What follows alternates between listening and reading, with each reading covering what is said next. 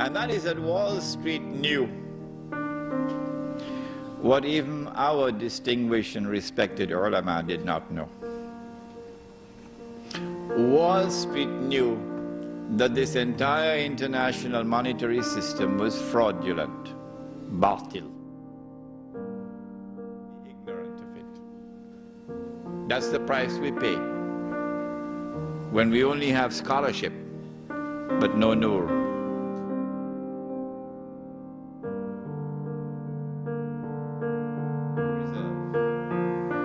And the oil that they got from Saudi Arabia was free of charge. You didn't have to pay for it. Did you hear that? Huh? Did you hear that? It was free.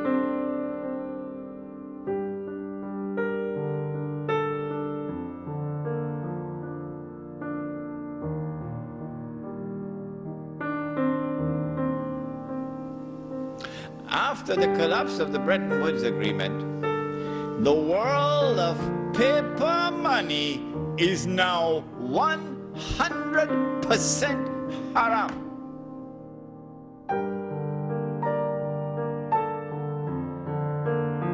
And so this money, which is losing value, is by the definition of the Quran haram.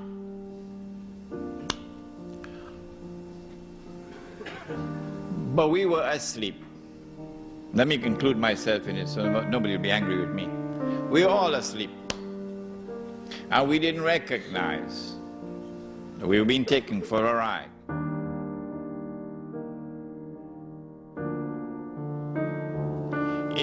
In fact, it was more than something haram, it was riba. But the Prophet had said, sallallahu ta'ala alayhi wasallam, about the riba which would come with Dajjal. What did he say? He said that it will be as difficult to recognize it as it would be to recognize a black ant on a black stone on a dark night. I mean, you don't need a PhD from the University of New South Wales to recognize. The only man who can see that ant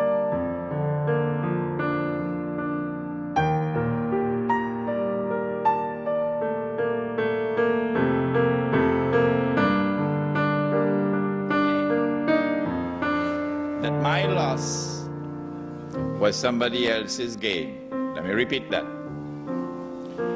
When my money could no longer buy a camel, it could only buy a donkey. The value of my labor has been diminished by half.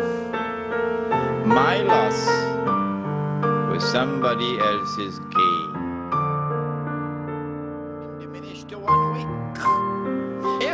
This keeps on going on, I'm going to be enslaved. A new slavery will come upon the world if this keeps on going on like this.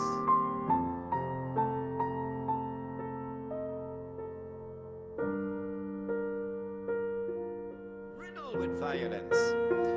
And our sisters, or let's put it, my sister and my daughter and my mother must now sell her body for one dollar. It's very cheap now. One dollar. Yeah. It's happening. While those fellows are fighting over popcorn.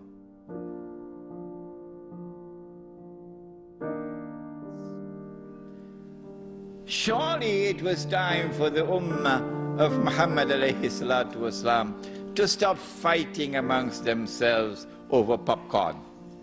Because that's what they're doing fighting over popcorn while this massive betrayal of Islam is taking place and we are blissfully ignorant of it.